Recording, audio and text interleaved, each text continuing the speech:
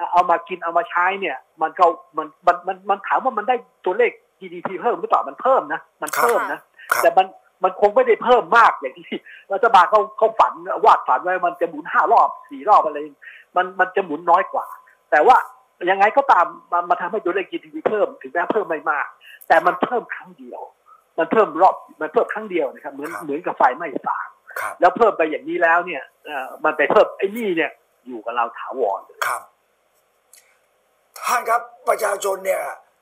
เขาถามท่านฟันธงเตะลูกเข้าโกเลย อดีตรัฐมนตรีคลังชื่อธีรชัยเนี่ย ตอนนี้เป็นรัฐมนตรีคลังอยู่ ท่านจะทำไม่ทำครับถ้าถ้าผมเป็นรัฐมนตรีคลังในวันนี้นะนะครัครับบผมเองก็จะต้องแสดงให้ประชาชนเห็นว่า ผมจะต้องพยายามเต็มที่อะนะครับก่อนครับ